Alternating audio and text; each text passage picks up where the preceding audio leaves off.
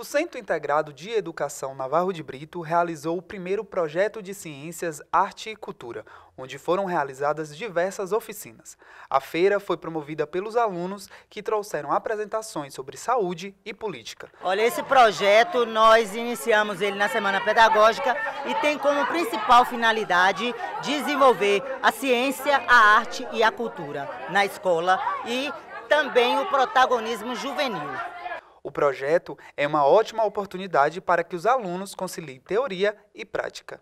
Os alunos formataram né, a construção, teve dois dias de pesquisa, dois dias para produção e hoje estão acontecendo as oficinas, os estandes, as apresentações. Eventos como esse despertam novos talentos na busca por conhecimento. É uma troca de informação e de experiência. Eu estou aprendendo muito com o pessoal e isso assim vai me ajudar muito na frente, lá na frente quando eu precisar. A importância maior é, a, é o protagonismo juvenil do nosso educando e a participação cidadã de cada um. Professor doutor Rui Medeiros deu uma palestra falando sobre a ditadura militar e afirmou que o projeto é uma oportunidade de mostrar para a comunidade o que é discutido dentro da sala de aula.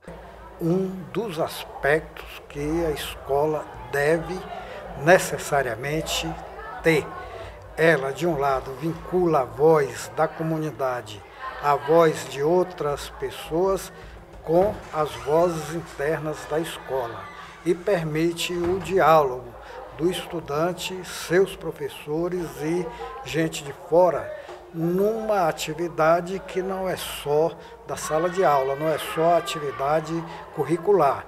É uma atividade que extrapola o currículo, entretanto não o nega, o fundamenta. Daí a importância desse tipo de coisa.